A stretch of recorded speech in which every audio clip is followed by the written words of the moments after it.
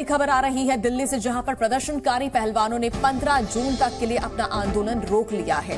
खेल मंत्री के साथ बुधवार को पहलवानों की अहम बैठक हुई। छह घंटे तक चले इस बैठक में पहलवानों ने खेल मंत्री के सामने कई मांगे रखी, जिसमें डब्ल्यूएफआई की अध्यक्षता किसी महिला को देने और फेडरेशन में ब्रिजभूषण के करीबी नाच चुनने की मांग अहम थी।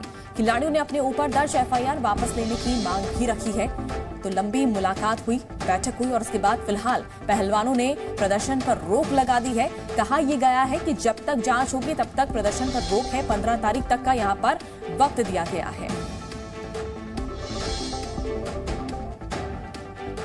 तो खेल मंत्री के साथ बैठक के बाद जो है फैसला लिया गया। पहलवानों ने बैठक में कई मांगे यहाँ पर रखी गई और डब्ल्यूएफआई के अध्यक्ष को लेकर यह भी कहा गया कि किसी महिला को अध्यक्ष बनाना चाहिए, ये मांग रखी गई पहलवानों की तरफ़ से।